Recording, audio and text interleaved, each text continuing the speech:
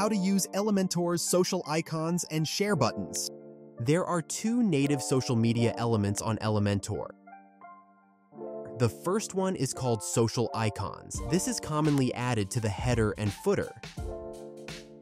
The social media icons element can be used to link your social media profiles, like your Facebook page or YouTube channel.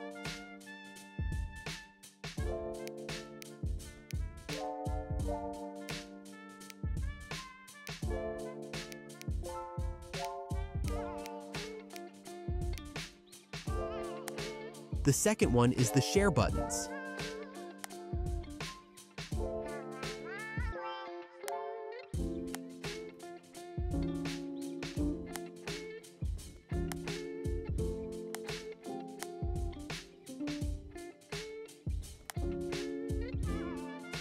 This element by default, when clicked, generates a sharing link of the current post or page, or you can also set a custom link.